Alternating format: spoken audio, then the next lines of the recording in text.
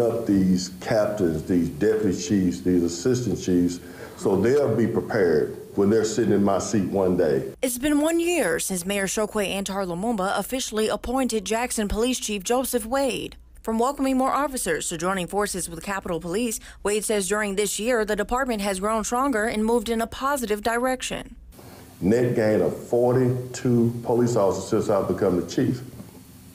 Most of these officers are returning Jackson police officers.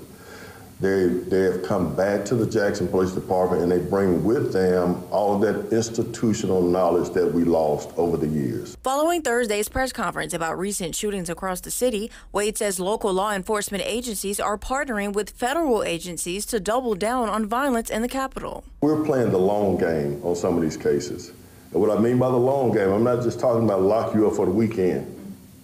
I'm talking about building a case against you to get you out of our system. Capitol Police Chief Bo Luckey agreeing. It's important for the entire state of Mississippi, not just for the city of Jackson. It's important for everybody in Mississippi to have a capital that represents what Mississippi is truly about hospitality, neighbors, community. Chief Wade says he's already thinking about the future leadership of the police department. I'm not planning on retiring anytime soon. I feel good, you know, so, but you have to think down the road. If something happens to me, you know, who's going to step in and who's going to be able to take the helm and run with it. He also says he's working hard to make sure the department continue receiving pay raises.